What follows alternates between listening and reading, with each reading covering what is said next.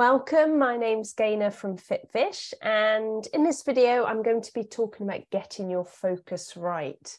So, do you feel like you're trying your best to live a healthy lifestyle, but you're a bit all over the place and you're not sure what to do, what sure what not to do, what to try next? You feel like you're flailing around a little bit, and it's so easy to get swept along in different directions and feel like you haven't got anything firm to hold on to when trying to choose a healthier lifestyle and that you you want freedom. So it's just a bit uncertain where to go. That's why diets so often can appeal because they give you some structure and something to hold on to making you feel like you're in some kind of degree of control. But the problem is of course you can't hold on to them forever and sometimes holding on is is far too unrealistic and they can also affect your mindset. And when you don't get the results that you like you don't want to hold on to them anymore or that you think you haven't got the results that you like because you're not holding on tight enough. And it can all be really really complicated.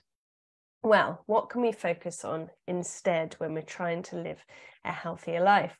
Like anything as always the answer is of course jesus and what god would want from us so, to gain freedom in our healthy living choices, our first focus actually needs to be having freedom in our choices. In the Bible, it says that everything is permissible, permissible, permissible, but not everything is beneficial. And that's, of course, true. Eh, you can do anything you want to, but it's not always beneficial. So, what does that mean for you? So mistakes aren't the problem. God has a plan B. He knows that we will make mistakes. We won't always do things the way we want to every time. And that's not the problem. He can help us through those. But bondage to those mistakes can be.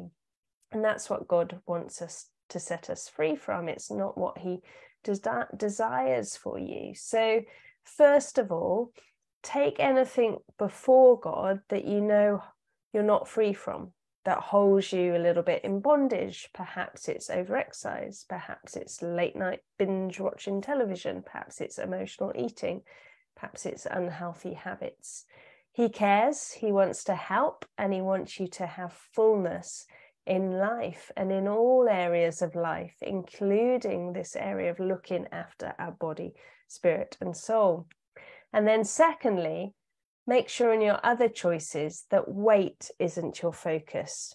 Weight is a little bit irrelevant, really, unless we were going to walk along the street and pick each other up. It's it's not really relevant. Yes, sure, you might want to lose a bit of body fat. You might prefer to look a bit different. But if you're focused on God, then those things will follow. So concentrate on being healthy and balanced in your decisions, and then the weight will follow behind and remember it's not the action that you take. There's not it's not that there's good foods bad foods right things to do wrong foods to do. It's often the attitude that we have. So i could finish this video and go for a long walk. Now that could be done in a very healthy attitude as in maybe i've been inside all day need some headspace, haven't really processed some stuff, and I just want to get out and stretch my legs. Or it could be that I think, oh, I ate a cake for pudding at lunch. I need to get out and burn off 600 calories. Otherwise, I'm never going to lose that weight that I've put on. And then I won't be able to eat anything tomorrow. So, same action, but completely different attitudes and mindsets. So, the first thing to do is make sure there's nothing we're in bondage to and take those before God. And secondly, with all our, of our other decisions and actions and choices, make sure that the focus is a healthy balance rather than focusing on your weight because all food can serve a healthy purpose it's not the actual food it's not the actual things we do sometimes it's it's about where our attitude is um, so focus on healthy choices for body, spirit, and soul. And imagine there's a spirit level with a spirit bubble in the middle. If that spirit bubble is in balance, then the four corners are in balance.